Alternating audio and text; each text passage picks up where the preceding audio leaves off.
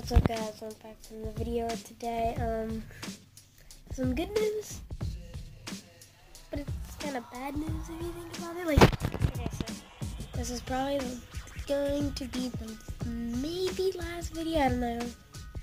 One of the last videos where I actually say the intro, like, hey guys, welcome back to another video. Today we are going to be doing blah blah blah.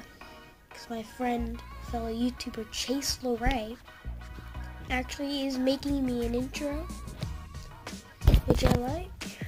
And as this is see, not eligible for stories, I would have put this on stories. But I guess I'll see you in the next one. Goodbye.